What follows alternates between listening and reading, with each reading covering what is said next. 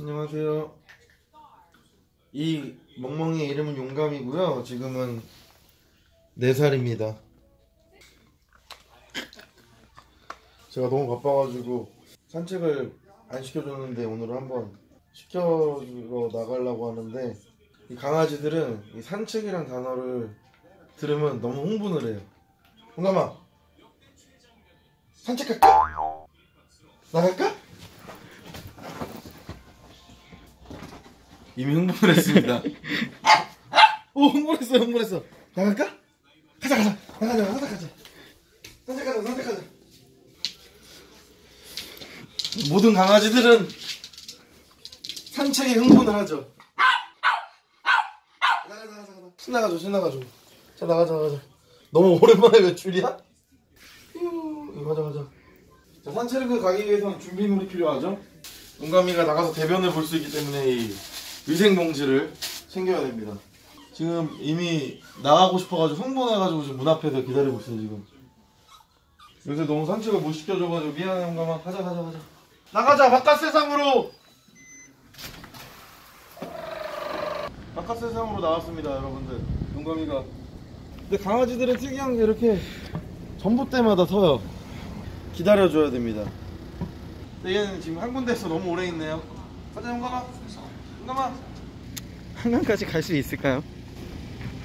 한강까지 한강까지 가는데 지금 2시간 걸릴 예정인 것 같은데요? 영양 포시까지 합니다.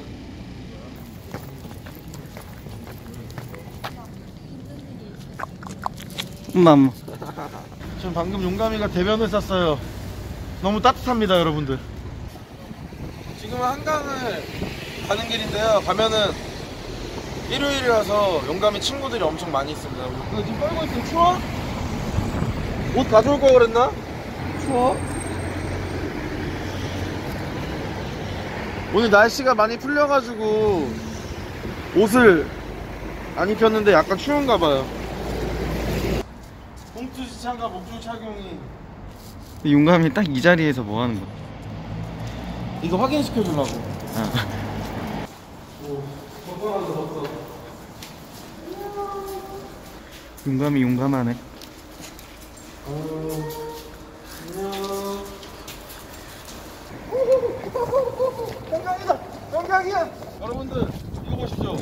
반려동물과 한강공원에 기분 좋게 산책하는 방법. 목줄, 인식표, 배달물. 하나라도 빼먹으면 벌금이래요. 잠깐만, 가자, 가자. 친구들 있다. 우, 살살해. 그래, 살살 해줘. 아, 친구들 있다. 엄청 큰 친구들이다. 안녕. 어, 괜찮아?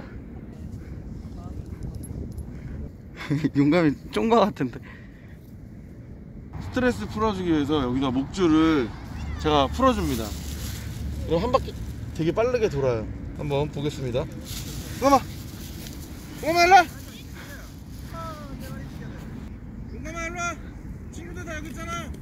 싸워봐. 어, 우리 용감이 쫄았다 어이구 쫄았다 우리 용감이 아 우리 용감이 무서워요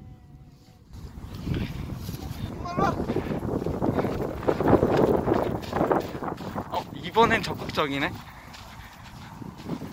또 친구를 만났어. 큰게 괜찮아? 아이고. 응감아 일로와! 아이고 아이고 아이고 어, 여기 또 친구 있다, 친구. 어, 친구 접선한다. 귀엽다. 아이고, 이뻐. 아이고, 이뻐. 안녕. 아이고 아이고, 이쁘다. 와봐, 나 와봐. 엄마, 일로 와. 이놈아, 일로 와. 이거 돈, 돈 있다, 돈, 돈. 여러분, 먹을 게 없어서 돈으로 유인했습니다. 신용카드, 신용카드. 신용카드. 신용카드. 아이고 무서워. 어 친구들 많이 나타났다. 친구들 난리 어, 났습니다. 큰일 났다 지금. 큰일 났다 친구들 난리 났어 지금. 오 거친 친구들이다. 오 친구들 난리 났어 지금. 아 용감이 쫄았다. 오 친구들 난리 났어 지금. 친구들 맞아?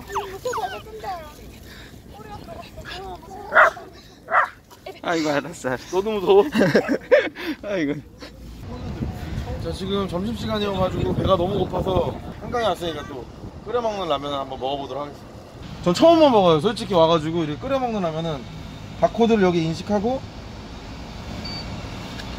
여기다 한 다음에 깜빡이는 쪽에서 조리 시작을 딱 누르면 물이 나옵니다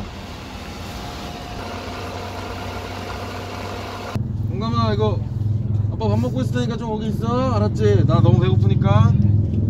자 이렇게 해서 용감이 잠깐 저기 휴식하라고 저도 밥을 먹겠습니다. 편의점 정식 처음 먹어보네요.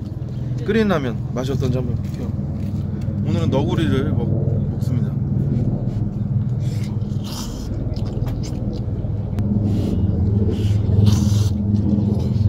어 이거 한강에 왔으니까 핫바죠 또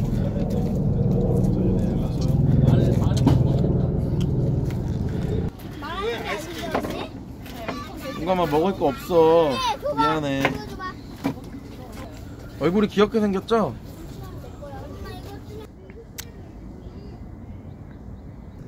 오. 이쁘다 와우.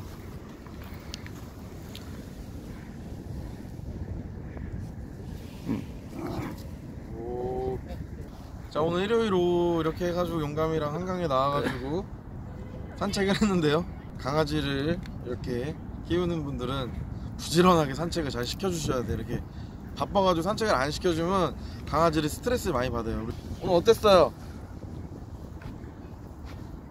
예, 별 생각이 없죠 아무튼 오늘 일요일날 용감이와의 산책 성공했습니다 여러분 재밌게 보셨다면 좋아요와 구독 그리고 댓글 많이 남겨주시고요. 지금까지 용감이와 여로빠였습니다. 안녕.